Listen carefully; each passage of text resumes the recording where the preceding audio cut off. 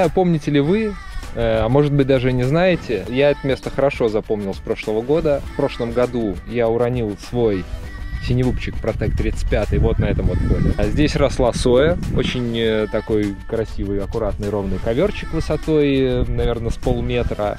И он такой плотненький, сочный был, поэтому протек найти ну, было в тот момент вообще нереально. Месяц спустя, когда соя уже высохла и опала, я сюда вернулся, дрончик нашел, это эпичная история, Э, в двух, даже в трех сериях у меня в блоге есть, можете посмотреть. Я, как настоящий преступник, вернулся на место преступления заново. Здесь я теперь э, сегодня э, пробую летать, но уже на совершенно другом дроне. Где он? Вот-вот на таком вот.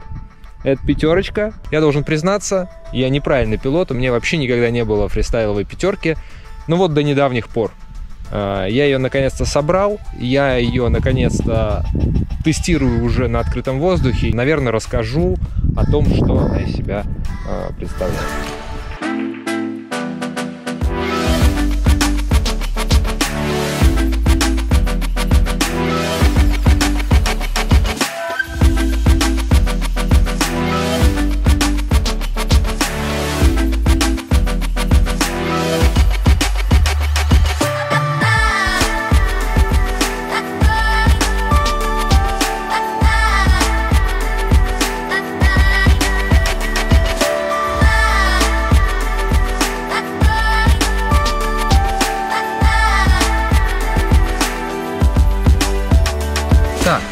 Собрана моя пятерочка на базе рамы Foxir Mega 5 фристайл. Фоксир был выбран, ну, скорее по накатанной просто, потому что я был под впечатлением от рамы Цезарь 3, на которой гонял всю зиму. Крепкая, надежная. Надеюсь, что это будет показывать себя таким же образом. Не то, чтобы я ей прям вообще на 100% доволен, не без претензий. Пришла она ко мне, ну, комплектик мне показался такой довольно-таки скупой.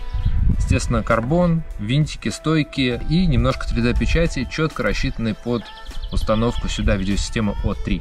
Так что если собираете что-то на чем-то другом, то будьте готовы что-нибудь попечатать, э, перепечатать, допечатать. А в моем случае, когда я раму только получил, файлов э, для печати на сайте Foxira еще не было. Я уже даже начал было рисовать там себе маунт под GPS, но со временем не появились, хотя немножко странненькие, они почему-то у меня напечатались, ну там может на пару процентов в масштабе меньше, чем э, должны быть. В общем, натянул я печать, все с ней в порядке, пока пусть будет так. Со временем есть мне идея еще перепечатать ее в других цветах, но это уже скорее просто вкусовщина. Единственное, что стоит обратить внимание, наверное, при сборке рамы, это обязательно фиксатор резьбы, потому что первые полеты показали, что винтики, особенно в нижней части, все-таки стремятся потихонечку выкрутиться. Сердце аппарата полетный контроллер с ESC это стек, такой народный уже стек от SpeedyB F4 V4. Регулятор оборотов здесь на 55 ампер, Чуть позже они уже выпустили версию с регулятором на 60 ампер. Сам полетный контроллер мне очень нравится.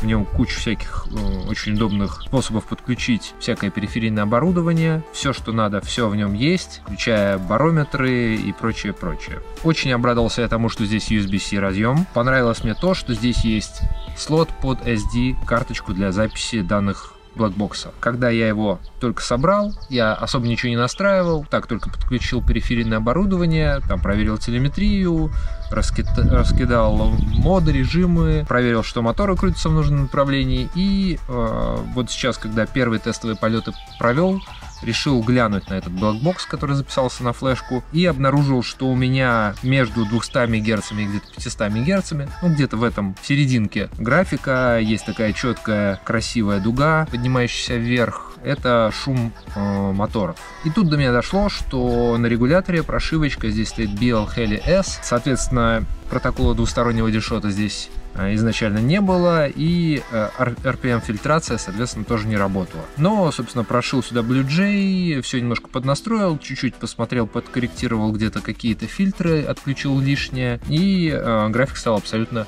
чистый. Еще по поводу стека, который установлен, пришлось мне развернуть э, регулятор оборотов и полетный контроллер в разные стороны, не так, как они изначально предполагались для установки связано с тем, что э, хвост питания батарейки и конденсатор, если устанавливать сзади, то в раме совсем нету э, место уже под э, VTX. Так что в раму в эту электронику надо примерять и планировать. В паре с этим регулятором оборотов у меня работают моторки тоже народные. Это T-Motor Velox V3 2207 размер на 1950 kV. Немножечко такой завышенный KV для фристайловых 5-дюймовых, наверное, сборочек, но я его так осознанно выбрал э, специально, чтобы иметь какой-то такой небольшой запас, чтобы, если что, иметь возможность, э, ну, вжарить как следует. Немножко уже полетав, э, есть у меня ощущение, что можно было взять киви поменьше, может быть, тогда немножко сэкономился бы заряд аккумулятора. Раз уж заговорили про моторы,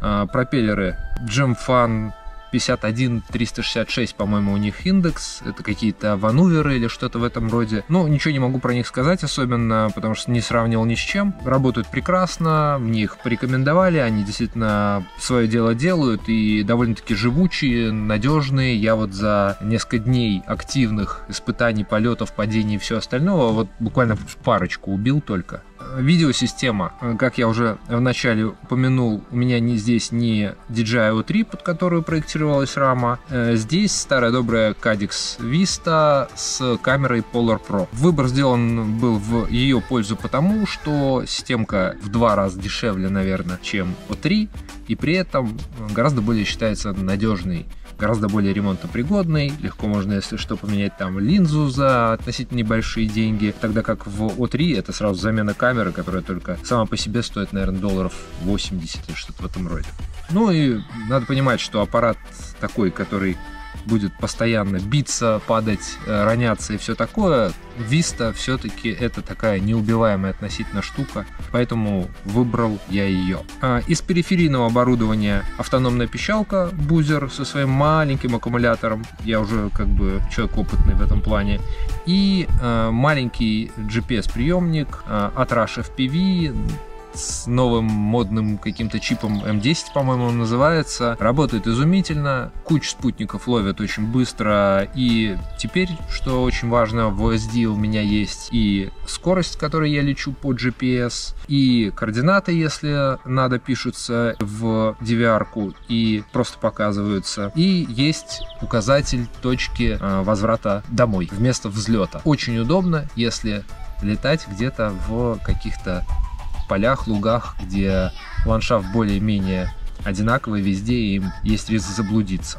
Приемничек, телеметрия, управление и LRS, по-моему, от Happy Model с новым э, чипом, который компенсирует какие-то температурные колебания и вроде бы как очень стабильно держит частоту. Хотя мне сначала показалось, что он меня подводит, аж целых пару раз я э, крэшнулся из-за failsafe а, из-за потери телеметрии, но проблема была не в нем, проблема была в том, что у меня в аппаратуре была выставлена какая-то минимальная мощность, по 50 милливатт или, что или 100 милливатт, и, соответственно, там через несколько сотен метров в условиях складок местности, конечно, телеметрия пропадала. Забавная штуковина, очень меня соблазняли pad ики маленькие для того, чтобы подпаять светодиоды к дрончику. Я, честно говоря, думал, это баловство, и теста ради самую обычную адресную светодиодную ленту снизу разместил на лучах. Оказалось, это очень-очень удобно, потому что светится она довольно-таки ярко даже в условиях яркого солнечного света, и если дрончик упал в траву, где-то там запутался, его на самом деле ну, там, с какого-то расстояния даже видно издалека, хотя, конечно, основной поиск идет все равно по э, звуку, по пищанию автономки buzzer а. Понятно, что setup без проблем таскает GoPro -шку. Я сначала полетел с 12 GoPro, там на одном crash е разбил ND-фильтр, и что-то мне стало ее жалко, я решил, что вот эта шестерочка старая добрая, так что будет она здесь летать на регулярной основе, хотя может быть чуть позже я ее на восьмерку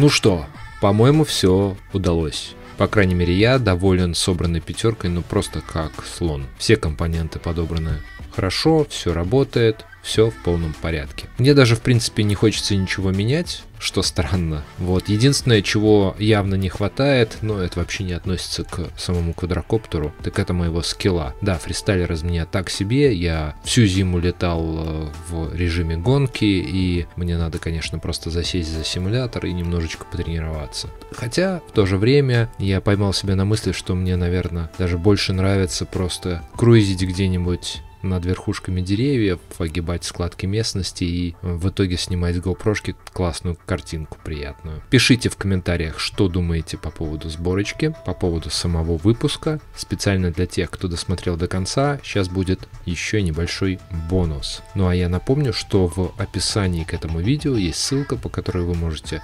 задонатить мне какую-нибудь небольшую сумму. Это всегда очень приятно и полезно для этого блога. Ну и решил я напоследок провернуть смертельный трюк, попробовать воспользоваться GPS Rescue. Никогда этого не делал. Не знаю вообще сработает ли. А, настройки абсолютно дефолтные, в бетке ничего не трогал. Вопрос, будет ли работать, потому что fail-safe настроен обычный падение. Но GPS Rescue на тумблере сделан.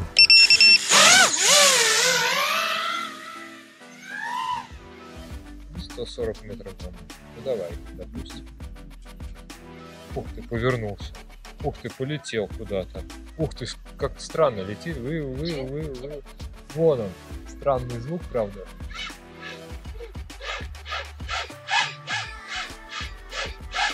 Что, снижается? Офигеть. Офигеть.